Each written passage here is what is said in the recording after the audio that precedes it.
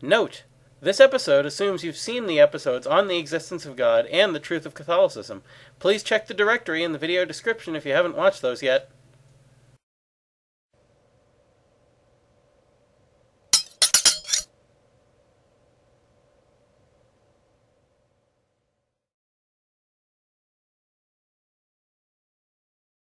Hey, welcome back to Clean Cut, where we can talk about the truth about just about anything, as long as we use logic and common sense.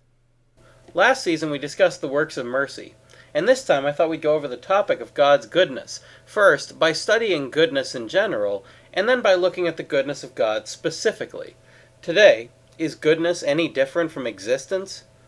We've touched on the difference between goodness and badness in episode 214, but to sum up, a good thing is, in and of itself, desirable for some reason.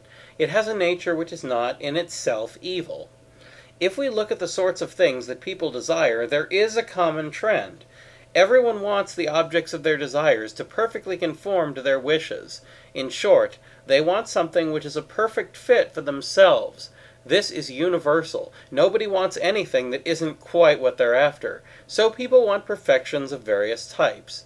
Now, one of the rare things that you can say about existing is that it's perfect.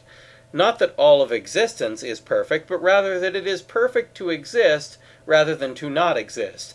If you don't exist, after all, there is no perfection and no possibility of it. It's only if you do exist that perfection is possible. More importantly, however, nobody is only partially existing or imperfectly real. You're either real or you're not. If you are real, then you are perfectly real. This is a form of perfection, and therefore it is desirable for its own sake. Therefore, existence itself is goodness, due to being desirable for its own sake. However, there are of course objections that have been raised against this claim. For one thing, people see many things that exist in the world which aren't necessarily good. It's one thing for a thing to exist, and another thing for it to be good, right?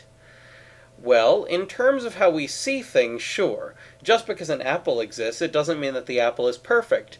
However, the existence of the apple would still be perfect, even if the apple itself had flaws that kept it from being perfect. Those flaws are not a part of the existence of the apple. Not all apples need to have those flaws. It's just an incidental property, like the kind we discussed in episode 264. So a thing can have flawed properties, like bruises and brown spots, and still have a quality of existence itself, which is perfectly good. Probably the stronger objection, though, is that a thing can be more or less good, but can't be more or less existent. However, again, in this case we're not speaking of whether the existence of a thing is more or less good, only of whether the thing itself has more or fewer perfections than merely existing. For example, if a person is supposed to be virtuous and gentle, and instead they act cruel and selfish, virtue and gentleness are other kinds of perfections which, if they existed perfectly in the person, would increase his or her goodness. If they lack these qualities, it's because those perfections do not exist within them.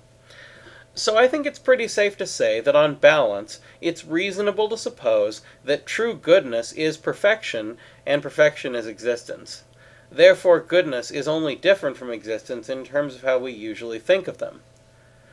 Next time, is every being good? That's all for now, so keep asking questions, and thanks for watching.